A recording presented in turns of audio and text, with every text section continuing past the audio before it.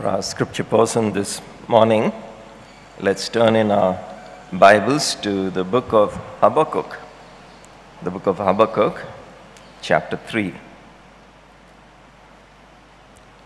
verse 1 to 19.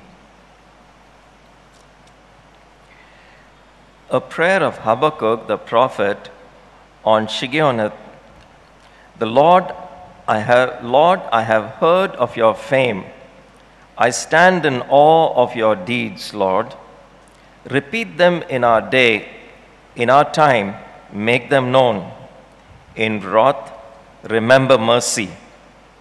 God came from Teman, the Holy One from Mount Paran.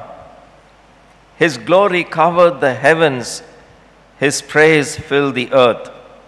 His splendor was like the sunrise. Rays flashed from His hands where His power was hidden. Plague went before Him, pestilence followed His steps. He stood and shook the earth. He looked and made the nations tremble. The ancient mountains crumbled, the age old hills collapsed, but he marches on forever.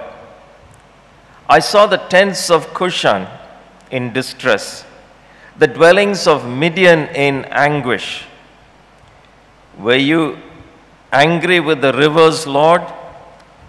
Was your wrath against the streams? Did you rage against the sea when you rode your horses and your chariots to victory? You uncovered your bow. You called for many arrows. You split the earth with rivers. The mountains saw you and writhed. Torrents of water swept by. The deep roared and lifted its waves on high. Sun and moon stood still in the heavens at the glint of your flying arrows, at the lightning of your flashing spear. In wrath, you strode through the earth, and in anger, you threshed the nations. You came out to deliver your people, to save your anointed one. You crushed the leader of the land of wickedness. You stripped him from head to foot.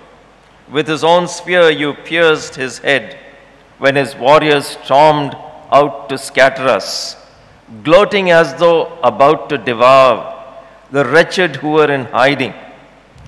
You trample the sea with your horses, churning the great waters. I heard and my heart pounded, my lips quivered at the sound. Decay crept into my bones, and my legs trembled.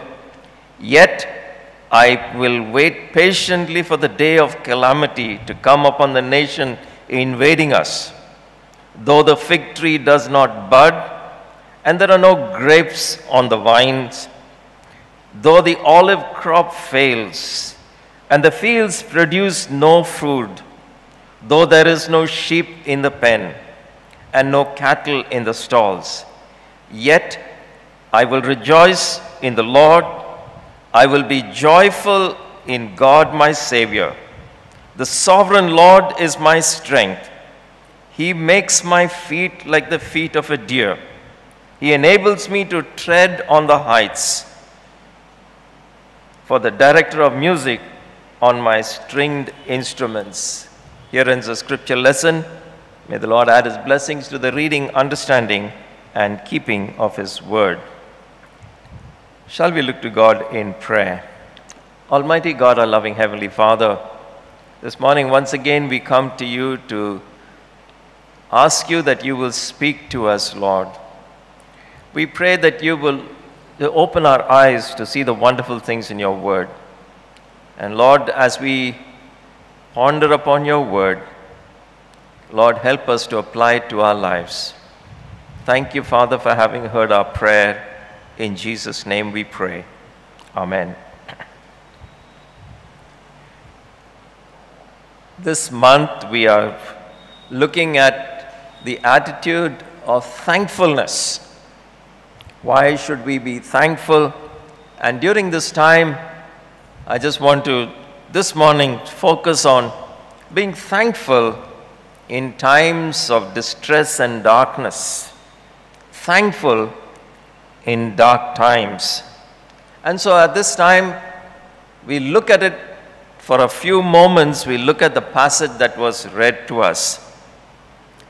Eh, Paul, writing to the Thessalonian church in the first book of Thessalonians, chapter 5, verse 16, 17, and 18, gives us some a kind of command.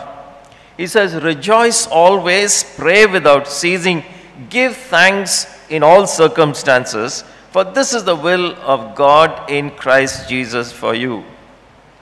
This is what God expects of us.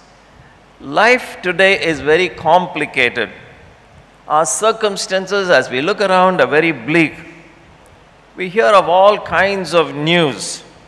There is unrest in most parts of the world. And this morning, as we are seated listening to God's word, perhaps you don't feel like praising God. Perhaps you don't feel very thankful we think of the natural calamities that are taking place all across the world. And as we look at the news, as we watch what happened in Afghanistan, it seems so far away, and yet there is something about it which tells us that we are, it is not all good. Our own personal lives, perhaps, have been a set of problems problems regarding our relationships, problems regarding our finances. Some of us may have lost our jobs, worries about our children, sickness. All these things seem to be pulling, pulling us down. It's a very bleak scene. In the midst of all this, is it possible to thank God and be thankful? Can we have a thankful attitude? I believe it is possible.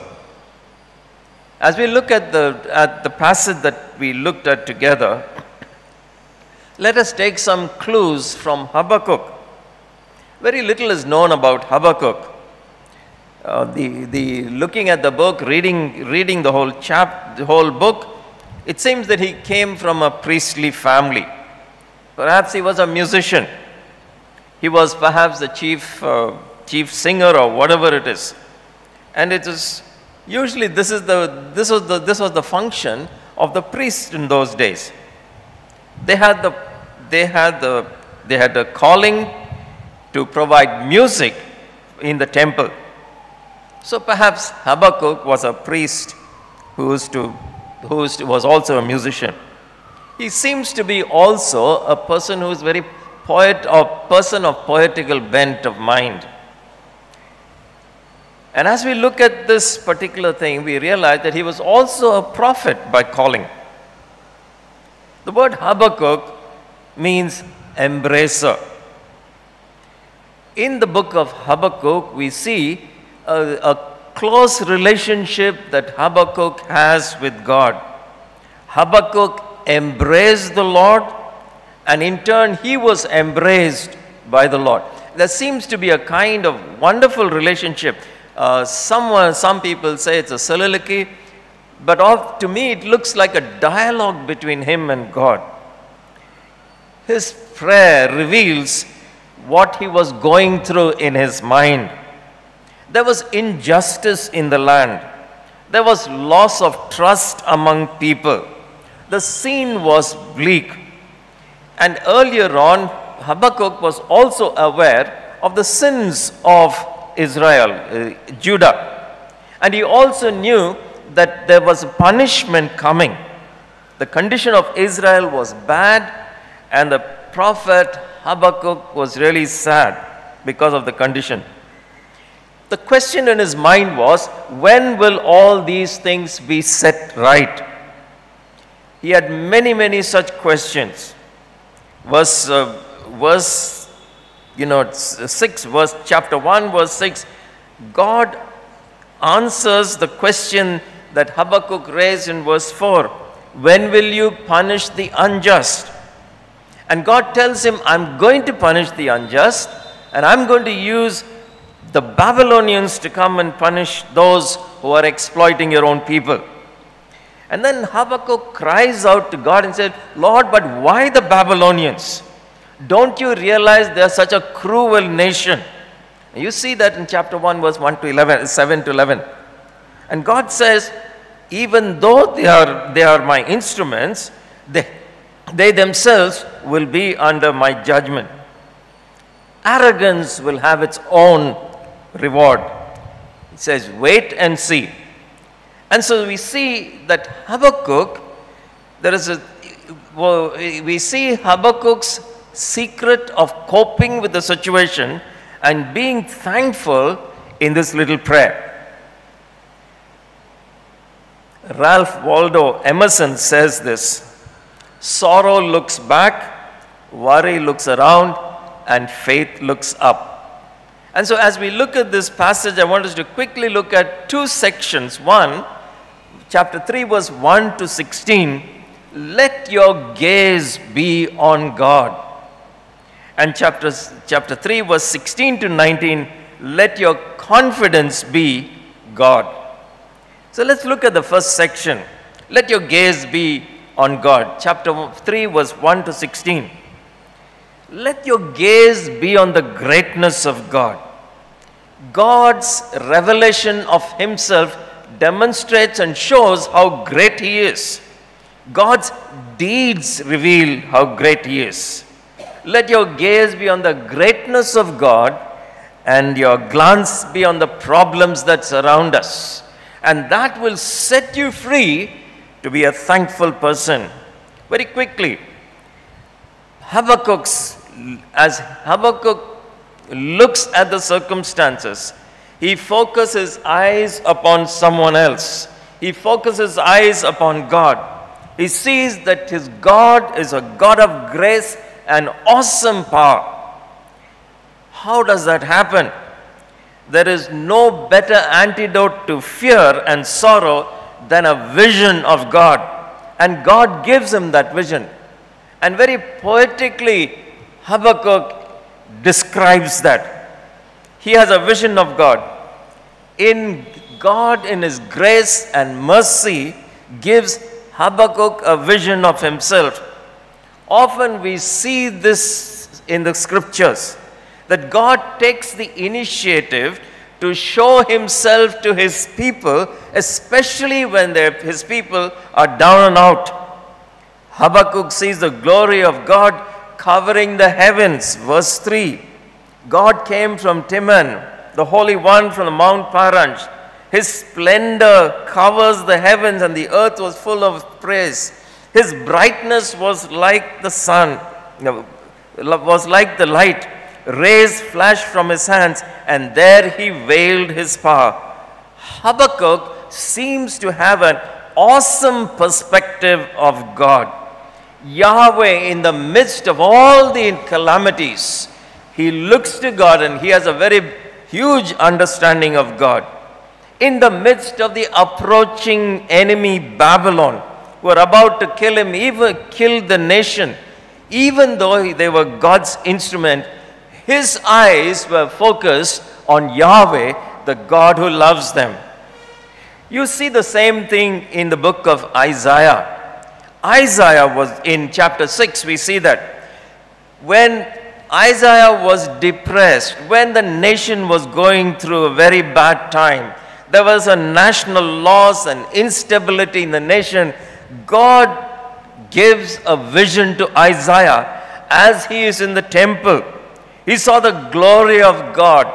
And even though there was a national calamity in the loss of their king, God revealed himself to Isaiah, and that changed Isaiah's total perspective. He focused his eyes upon a God who is sovereign, who is able to do wonderful things.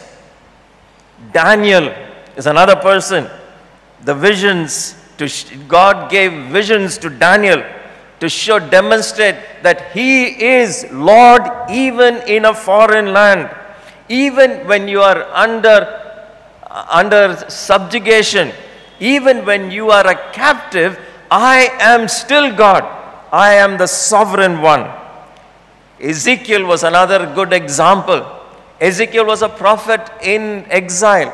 And there in exile, when it seems like this, this captivity would go on and on and on, God gives Ezekiel a vision to show him that the day will come, they will return. Our God is an awesome God. Oftentimes, our focus is so much on ourselves and the surroundings that we forget that we worship a God who's awesome.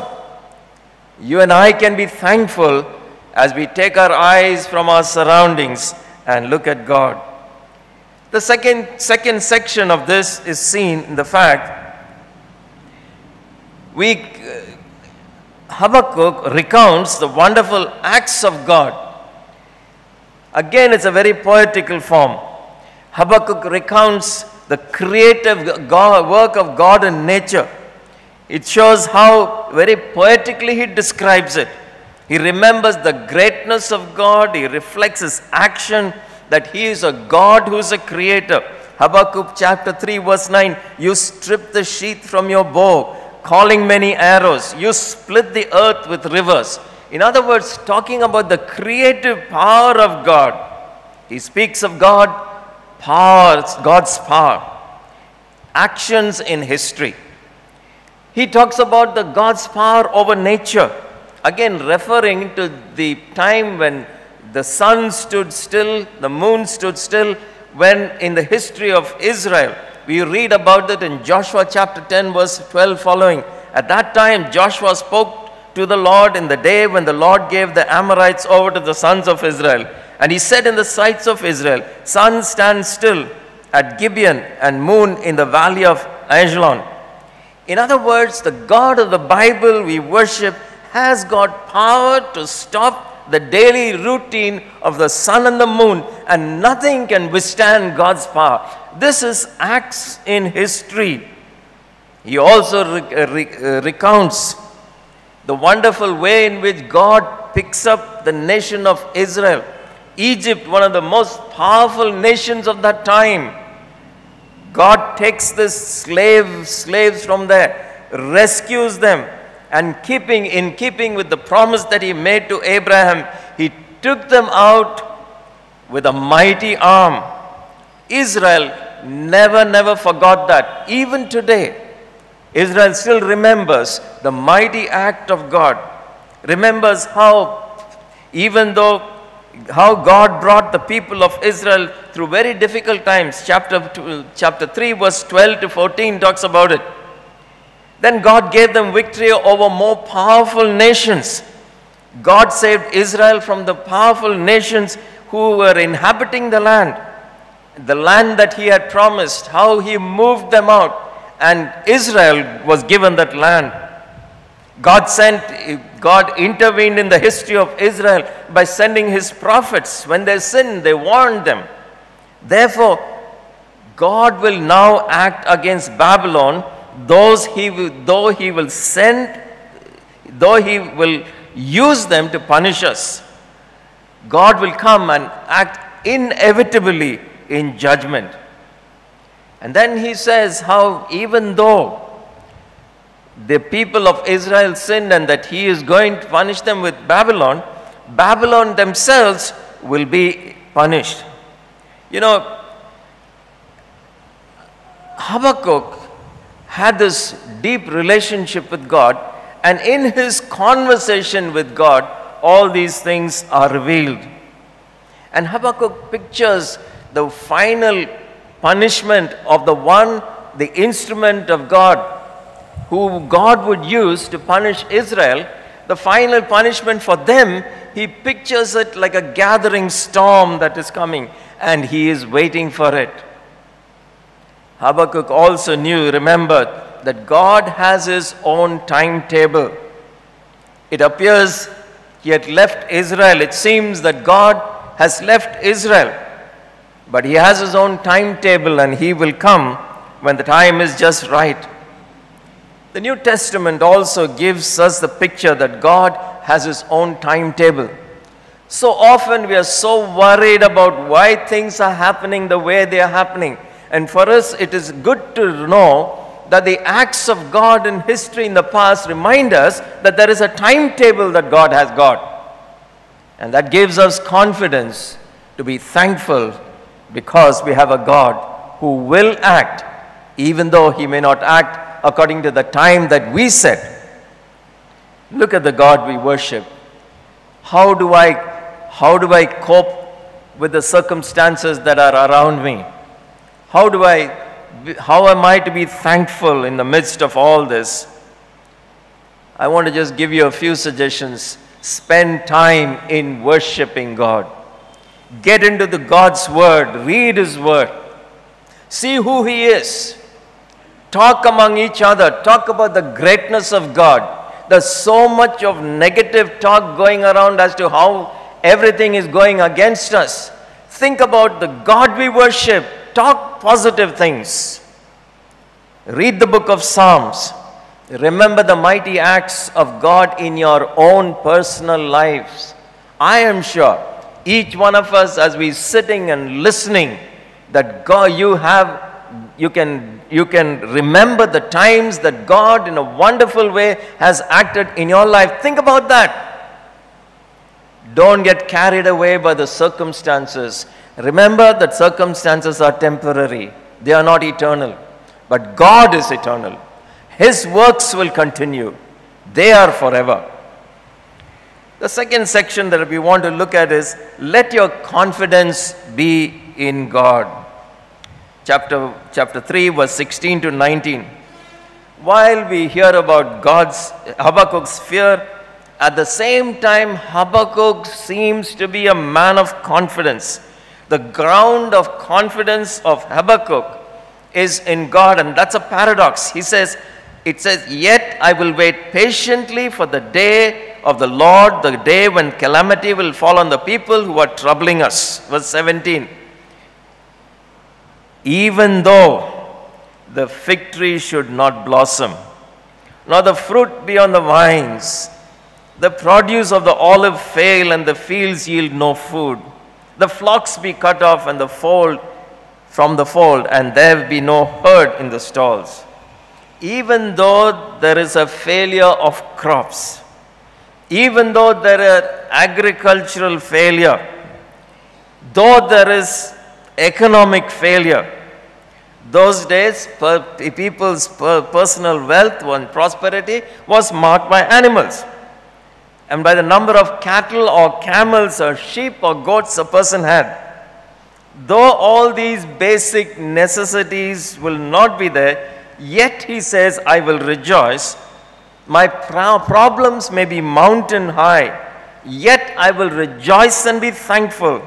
My sickness may be slowing me down, yet I will rejoice and be thankful. There may be just injustice being done against me, yet I will, be, I will rejoice and be thankful. He almost uses the term as though he's, he's enjoying it. When, you know, the, the Bible scholars tell us that the, the, the expressions are such that when, an, when you exult over an enemy who is defeated, he's looking at his circumstances, he's enjoying it, and he says, I exult as though it is all going to be gone. It is finished. How can I rejoice like this? Verse 18 Because I have a relationship with this awesome God. Habakkuk chapter 3, verse 18 Yet I will rejoice in the Lord, and I will take joy in the God my Savior. Yet I rejoice in the Lord. The word Lord used there is the term that is used for the Israel's covenanting God, Yahweh my covenanting God. And the people of Israel, whenever they use the word Yahweh, it was something very personal. He was my God. He was not somebody else's God. He is my God because He has made a covenant to me and I have a relationship. Some versions very clearly say, He is a God, my Savior. When you and I have a relationship with this self existent, eternal Yahweh then you and I can depend on, we need not depend upon our circumstances. This self existent God, Yahweh, has his, got his own timings. Therefore, I will not look at my circumstances, but at him who holds my future, on him who holds my circumstances together. My confidence is not in my circumstances. My confidence is not in my ability to cope. My confidence is in my God who is my Savior. Notice the personal relationship. When you and I have a personal relationship with God through Jesus Christ, you and I will have the confidence that others may not have. John chapter 1, verse 12. Jesus very clearly speaks about it. How you and I, as God's children, today, we are the new Israel, God's children. He says, But to all who receive him, who believed in his name, he gave the right to become children of God. Paul, writing to the Roman Christians in Romans chapter 8, verse 14, he said, For all those who are led by the Spirit of God are the children of God. For in verse 15 he says, For you did not receive the spirit of slavery to fall back into fear, but you received the spirit of adoption as sons, by whom we call Abba Father. What a privilege that he has given to us. And so, my dear friends, as you are listening, as you look at your circumstance, may I ask you, this time when we feel most unthankful, it seems most depressing all around, May I point you to the one who gave his life on the cross. May I point you to the one who said, I am the way, the truth, and the life. No man comes to the Father but by me. May I point you to the one who said, I have your future covered. Everything is in my hands. What a privilege you and I have. And that is the reason why we can rejoice. We can rejoice and be thankful in our sonship. We can rejoice and be thankful in our relationship with God because I am a child of the King of Kings. And that not only gives me identity, but also gives me a security. Much of the time, when we are not, we don't feel thankful is because we are insecure. Much of the time, when we look all depressed and uh, we, we are confused is because we don't have a sense of identity of who we are. We are God's children, this child, children of the King of Kings.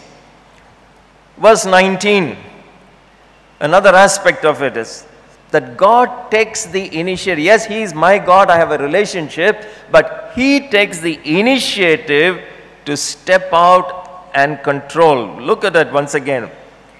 Verse 19 God, the Lord, is my strength. God, the word used there in Hebrew is Adonai. The Lord, the word used there, a Lord can be translated as Yahweh. The sovereign Yahweh, that means a sovereign person, that means he's a controller of everything there is. The Lord, the master, the owner of everything, he gives me strength. As I go through my circumstances, He gives me strength. He gives me natural strength, He gives me moral strength, and He gives me spiritual strength. In verse 19, the second part, He says, And He makes my feet like the deer's, and He makes me tread on high places. It is God who helps me, not my own strength. And He enables me. He, I, when I let the supernatural come into the natural, I allowed the covenanting God to help me to tread on high places. He raises me up, He helps me, and He guides me. No wonder Paul and Silas in the prison in Philippi, in Acts chapter 15, in the midst of the imprisonment, they were able to worship God. In the midst of the hopeless situation, they worshiped God and God intervened. He makes my feet like the deer's. He gives me a deer's feet, giving us a picture of firmness. And this passage seems to be taken out of Psalm 18, verse 33 and 33. Uh, again, the picture of God who makes us strong, our feet to be sure, when the, as we run, as we climb the mountains, as the, even though the path may be treacherous, He is the one who gives me feet of a deer. Let me, He made my feet like the feet of a deer, set me on secure heights. It's on not only an allusion to the swiftness of the deer, but also the strength and the firmness of feet. I got everything to be thankful for because this God who is seated on the throne, He's my Savior, but He also comes in and empowers me. The power of God now is available to us.